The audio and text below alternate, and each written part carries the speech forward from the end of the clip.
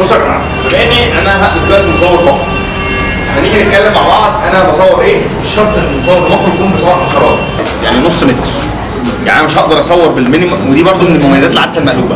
إن العدسة المقلوبة الع- العدسة المقلوبة هقدر إن أنا أصور بيها أقرب من نص متر. ولكن دي آخرها معايا نص متر.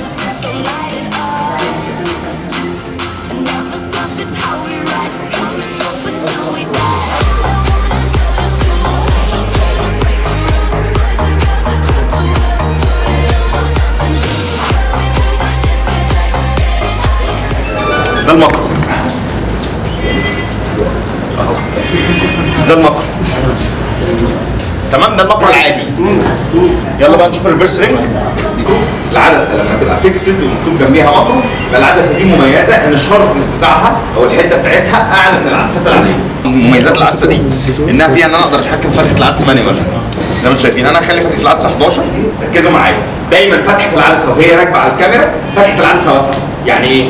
هل انت مثلا جيت في مرة رحت مضايق فتحه العدسه خليتها 22 لقيت الدنيا ظلمت؟ لا. بالرك والله إن شاء الله الورشة دي تطلع ورشة. تعالوا نصور الأول آه، لف كده. سولف. تعالي قدام. الشاشه يلا يلا يلا. يلا يا جدعان.